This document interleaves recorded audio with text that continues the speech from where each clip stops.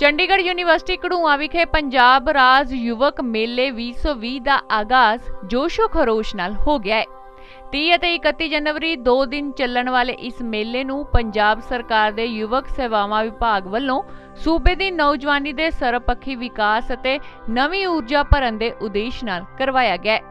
ਉੱਥੇ ਹੀ ਇਸ ਮੇਲੇ ਦੇ ਪਹਿਲੇ ਦਿਨ ਪੰਜਾਬ ਸਰਕਾਰ ਨੇ ਖੇਡਾਂ, ਸਿਨੇਮਾ, ਸੰਗੀਤ, ਕਲਾ ਅਤੇ ਸੱਭਿਆਚਾਰ ਦੇ ਖੇਤਰ ਦੀਆਂ 18 ਦੇ ਕਰੀਬ ਨੌਜਵਾਨ ਸ਼ਖਸੀਅਤਾਂ ਨੂੰ ਪੰਜਾਬ ਯੂਥ ਆਈਕਨ ਪੁਰਸਕਾਰ 2020 ਨਾਲ ਸਨਮਾਨਿਤ ਕੀਤਾ, ਜਿਨ੍ਹਾਂ ਵਿੱਚ speed records entertainment private limited ਦੇ ਡਾਇਰੈਕਟਰ ਸਤਵਿੰਦਰ ਸਿੰਘ ਨੂੰ ਵੀ ਯੂਥ ਆਈਕਨ ਅਵਾਰਡ ਦੇ ਨਾਲ ਨਵਾਜਿਆ ਗਿਆ।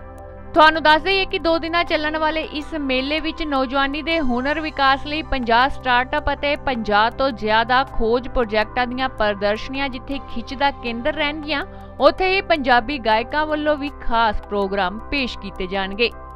ਬਿਊਰੋ ਰਿਪੋਰਟ, ਵਧੇਰੇ ਖਬਰਾਂ ਲਈ ਤੁਸੀਂ ਵੇਖਦੇ ਰਹੋ ਅਜੀਤ ਵੈਬ ਟੀਵੀ।